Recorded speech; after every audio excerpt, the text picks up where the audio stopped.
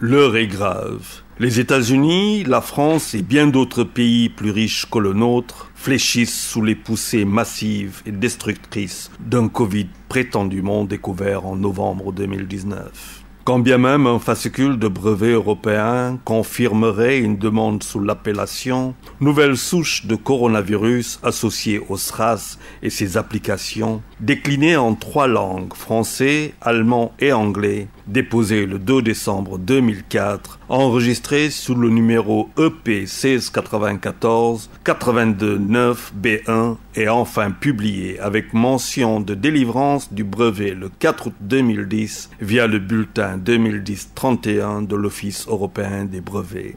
Et pour boucler la boucle, l'invention demandeuse d'une publication internationale relative à une nouvelle souche de coronavirus associée au syndrome respiratoire aigu sévère, le SRAS, est issue d'un prélèvement répertorié sous le numéro 031 589 à Hanoi, au Vietnam, en 2003. Sans blague, je me croirais en pleine lecture du rapport de la CIA présenté il y a plusieurs années par un certain Alexandre Adler, dans lequel il disait comment sera le monde en 2020. Il y a quelques semaines, pour ce qui me concerne, sur ces ondes, je rappelais que la fiction pouvait être plus forte que la réalité, allant même jusqu'à convoquer de mémoire le film prémonitoire Contagion de Steven Soderbergh sorti en 2011 je ne savais pas si bien dire. Guerre bactériologique ou virologique, boulimie de fric ou pas des industries pharmaceutiques ou de recherche et que sais-je encore,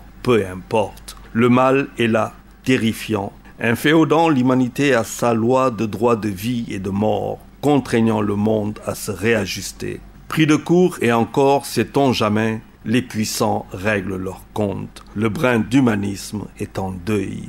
Chez nous, où tout est à faire et où malheureusement l'essentiel fait place aux artifices, le seul mot d'ordre, celui du choix de la vie, se discute, encore et encore, comme toujours, en dépit des derniers développements de la propagation du coronavirus, des appels du gouvernement à la responsabilité citoyenne, des nombreuses mesures annoncées, rien n'est respecté ou pas assez.